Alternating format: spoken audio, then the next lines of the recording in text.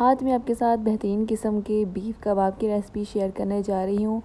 Basic मसालों के साथ, बहुत ही आसान तरीके के साथ, ऐसी टिप्स और ट्रिक्स मैं आपके साथ वीडियो के दौरान शेयर करूँगी, जिससे आपके कबाब बिल्कुल भी टूटेंगे नहीं, ना ही बिखरेंगे। जब आप इनको फ्राई करते हैं तो अमूमन जो कबाब होते हैं, वो टूट जाते हैं, बहुत ज़्यादा सॉफ्ट हो जाती हैं। तो आज मैं आपके साथ ये सारी टिप्स और टेक्निक्स वीडियो के दौरान लाजमी शेयर करूँगी।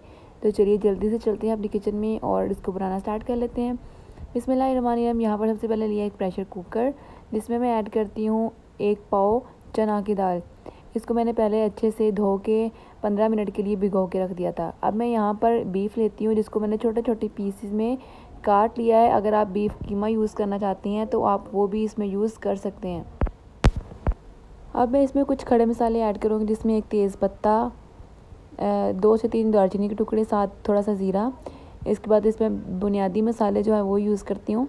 वन टीस्पून सुरख मिर्च पाउडर, वन टेबलस्पून नमक और हाफ़ टी स्पून हल्दी पाउडर के ऐड करने के बाद तीन गिलास मैंने इसमें पानी के ऐड किए हैं, ताकि जो बीफ है वो अच्छे से गल जाए।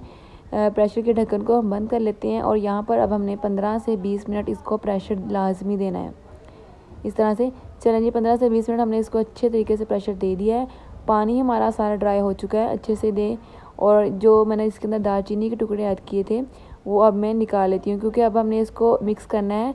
यानी कि इसका बिल्कुल फ़ाइन इस तरह से हमें इसको मैश कर लेना है। तो किसी किस्म का कोई भी बड़ा टुकड़ा दालचीनी का या कोई और मसाला इसमें ना हो पाए, नहीं तो वो बिल्कुल भी पिसेगा नहीं, इसको हम निकाल लेंगे। इसको हम अच्छे से हमने ऐसे कूट, इसके अंदर ही कूट लेना है। इसके बाद हम इसको किसी भी बाउल के अंदर ऐसे निकाल लेंगे। बहुत ही आसानी के साथ बनने वाले ये बीफ के कबाब हैं। इसके बाद मैं इसके अंदर ऐड करूँगी फ्रेश कुटा हुआ लहसुन और अदरक का पेस्ट। साथ ही मैं इसके अंदर ऐड कर दूँगी टमाटर, जिसके मैंने बीज और पानी रिमूव कर दिया था। और यहाँ पर मैं इसके अंदर ऐड करूँगी चॉप किया हुआ, बिल्कुल, देखिए चॉप किस तरह से हमने किया प्याज। दो हरी मिर्चें बारीक चॉप की हुई और दो ही मैं इसके अंदर ऐड करूँगी सुरख मिर्चें बारीक चॉप की हुई। लास्ट में इसके ऊपर मैं ऐड करूँगी हरा धनिया, ढेर सारा। और मैं स्पाइसी मुझे यहाँ पर थोड़ा सा कम लगा तो मैंने या इसके अंदर ऐड कर हूँ। वन फोर टी स्पून सुरख मिर्च पाउडर और हाफ़ टी स्पून मैंने इसके अंदर ऐड किया है हल्दी पाउडर। वन टेबल स्पून मैं इसके अंदर ऐड करूँगी खुश्क मसाला, धनिया और वन टेबल स्पून मैं इसके अंदर ऐड करूँगी भुना कूटा हुआ ज़ीरा।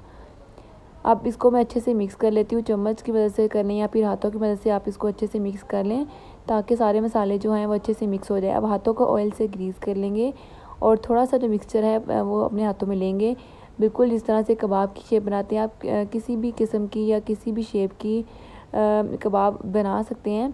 मैं यहाँ पर गोल कबाब जो अमूमन घरों में दावत के मौका पर बनाए जाते हैं, वो शेप इसको दे रही हूँ।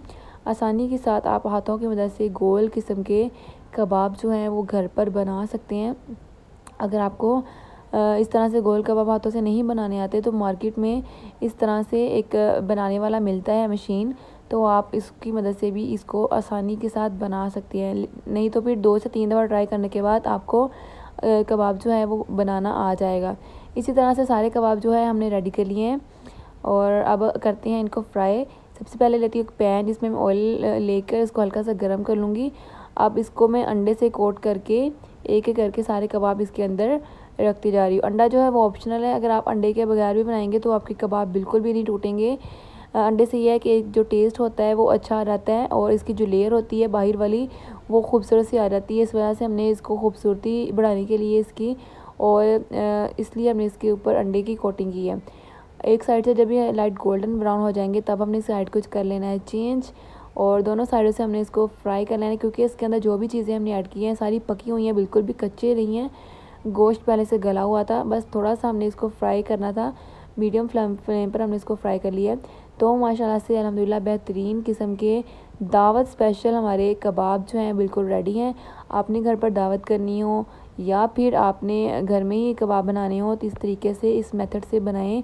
यकीन करें, आपके कबाब बिल्कुल भी नहीं टूटेंगे, इतने मज़ेदार, इतने जूसी बनकर ये रेडी होंगे। रेसिपी पसंद आई हो लाजवाब अकाउंट को ज़रूर सब्सक्राइब कीजिएगा। वीडियो को लाइक कर दें, अपने फैमिली और फ्रेंड के साथ शेयर कर दें। इंशाल्लाह मिलती हूँ आपके साथ एक और नई वीडियो के साथ। अपना बहुत सारा ख्याल रखिएगा। अल्लाह हाफिज़।